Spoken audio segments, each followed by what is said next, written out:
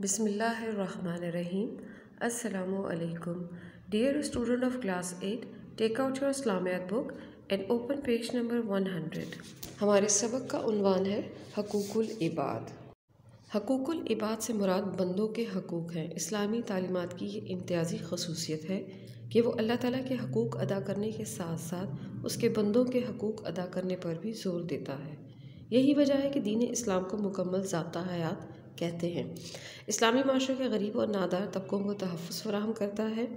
मुस्लिम माशरे में दीगर तबक़ात के साथ साथ बेवाओं, गरीबों, यतीमों और माजूरों को भी कानूनी तहफ़ हासिल है। हम इस सबक में यतीमों, बेवाओं, माजूरों और मुसाफरों के हकूक़ के बारे में जानेंगे। ऐसे कम सिन बच्चे जो बाप के साया शफकत से महरूम हो जाएँ, यतीम कहलाते हैं। बाप की वफ़ात के बाद ये बच्चे बाप की मोहब्बत, तवज्जो से महरूम हो जाते हैं। इन बच्चों को कमाकर खिलाने वाला कोई नहीं रहता। अगर बाप की तरफ़ से कुछ वरासत में भी मिल जाए तो वो ख़ुद इसकी हिफाजत नहीं कर सकते। इसलिए रसूल सल्लल्लाहु अलैहि वसल्लम ने यतीमों के हकूक़ अदा करने की तलकीन फरमाई है। कुरान मजीद में कई मकाम पर यतीमों के साथ हुसन सलूक की ताकीद की गई है। चुनाचा सूर दहर में अल्लाह ताला इरशाद फरमाता है और वो अल्लाह ताला की मोहब्बत में मस्कीन, यतीम और कैदी को खाना खिलाते हैं। दौर जाहलीत में अरब के लोग यतीमों के साथ अच्छा सलूक नहीं करते थे। अल्लाह ताला को उनकी आदत पसंद ना आई। चुनाचा सूरतुलमाउन में अल्लाह ताला इरशाद फरमाता है, क्या तुमने उस शख्स को देखा जो रोज़ जज़ा को झुटलाता है? ये वही बदबख्त है जो यतीम को धक्के देता है। अगर वरासत की तकसीम के दौरान कोई यतीम या मस्किन आ जाए तो उन्हें भी कुछ दे देना चाहिए और उनसे नर्म लहजे में बात करनी चाहिए। सूरत नसा की आयत नंबर आठ में इरशाद है, अगर मीरास की तकसीम के वक्त गैर वारिस रिश्तेदार, यतीम और मोहताज आ जाएँ तो उनको भी उसमें से कुछ दे दिया करो और उनसे माकूल बात करो। हुजूर सल्लल्लाहु अलैहि वसल्लम ने भी यतीमों के साथ हमदर्दी करने की हिदायत की है। आप ख़ुद भी यतीमों के साथ मोहब्बत और शफकत से पेश आते थे और हमें भी यही तालीम दी गई है कि हम उनके साथ हुसन सलूक से पेश आएँ। ऐसी खातून जिसका शोहर इंतकाल कर जाए, वो बेवा कहलाती है। इस्लाम से कबल ख़वातीन के साथ बहुत बुरा सलूक किया जाता था, बिलखसूस जिनके शोहर फौत हो जाए, उन्हें वरासत के तौर पर तकसीम किया जाता, दुनिया के बाज़ इलाकों में शोहर के साथ ही जला दिया जाता था। इस्लाम ने इन औरतों को बहुत से हकूक़ अता किए हैं।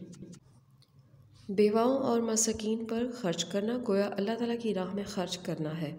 अल्लाह ताला ने शोहर की वरासत में बीवी का हिस्सा मुकर कर रखा है। इस्लाम ने बेवा ख़वातीन को दूसरी शादी करने की इजाज़त दी है। इस्लाम तमाम इंसानों के साथ हमदर्दी और रहमदिली करने का सबक देता है।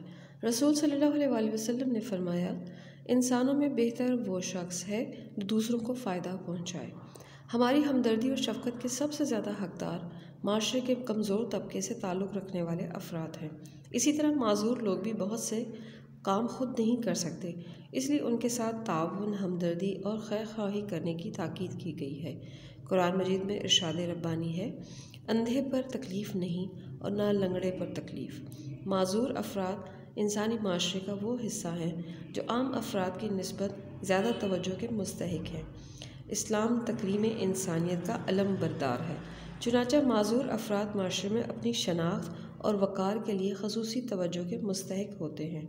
इसलिए इस्लाम ने इस बारे में खसूसी तालीमत दी हैं। इस्लाम माजूर अफराद को माशरे का काबिल एहतराम और बावकार हिस्सा बनाने की तलकिन करता है। माशरती और कौमी ज़िंदगी में इन पर किसी भी ऐसी ज़िम्मेदारी का बोझ न डाला जाए, जो इनके लिए नाकबिल बर्दाश्त हो। इस्लाम के अदा करदा हकूक़ की रोशनी में माजूरों को खसूसी मुकाम दिया जाए, ताकि माशरे में उनका इस्तेसाल ना हो सके। मुसाफिर उस शख्स को कहते हैं जो अपने घर से दूर हो। मुसाफिर अपने वतन से दूर होता है और नई जगह पर उसे अपने वतन जैसी सहूलियात मैसर नहीं होती। इसलिए मुसाफिर की ज़रूरियात का ख्याल रखना ज़रूरी है। कुरान मजीद में अल्लाह ताला ने मुसाफिरों के हकूक़ अदा करने की ताकीद की है। अल्लाह ताला सूर रोम आयत नंबर अठतीस में इरशाद फरमाता है, अहल कराबत मोहताजों और मुसाफिरों को उनका हक दो। कुरान मजीद में मुसारफ ज़क़़त में से एक मसरफ मुसाफिर भी है, जो सफ़र में ज़रूरतमंद हो तो माल ज़क़़त से उसकी मदद की जा सकती है। जब भी किसी मुसाफिर की खिदमत का मौका मिले तो उसे अपनी इस्तात के मुताबिक उसकी खिदमत करनी चाहिए। मुसाफरों के हकूक़ में शामिल है कि उनके साथ खुश अखलाक़ी से पेश आया जाए।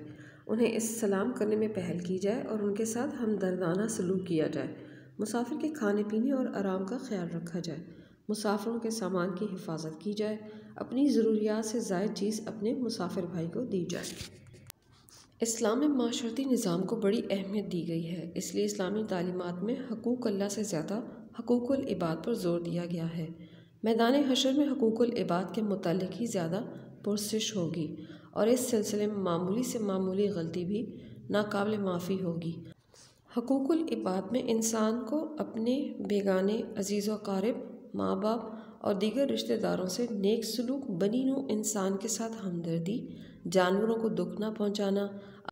आदाब मजलिस, आदाब गुफ्तु आदाब मुलाकात वगैरह हकूक़ लिबात में शुमार होते हैं। अगर बंदा हकूक़ अल्लाह की अदायगी ना कर पाए तो वो अपनी कोताही अपने मालिक हकीकी से माफ़ करवा सकता है, क्योंकि अल्लाह ताला बड़ा ही गफूर रहीम है। लेकिन हकूक़ लिबात के बारे में मामला इसके बिल्कुल बरअक्स है। अगर आपने किसी शख्स से ज़्यादती की है या किसी का हक छीना है तो अल्लाह ताला उस वक्त तक माफ़ नहीं फरमाता जब तक मज़लूम या जिस फ़र्द से ज़्यादती की गई हो, वो माफ़ ना कर दे। इसलिए हमें चाहिए कि हम अल्लाह ताला के हकूक़ के साथ साथ हकूक़ुल इबाद यानी बंदों के हकूक़ को भी ahsan तरीके से अदा करें, ताकि ये माशरा अमन का गहवारा बन सके। उम्मीद है स्टूडेंट्स कि आपको ये सबक पढ़कर हकूक़ुल इबाद के मायने और मफहम से आगाही हासिल हो गई और हकूक़ुल इबाद में यतीमों, बेवाओं, माजूरों और मुसाफरों के हकूक़ के बारे में भी आप जान गए इस सबक की मश्क अपने नीट रजिस्टर पर करें और मश्क मुकम्मल करें। स्टे होम स्टे सेफ़ अल्लाह हाफिज़।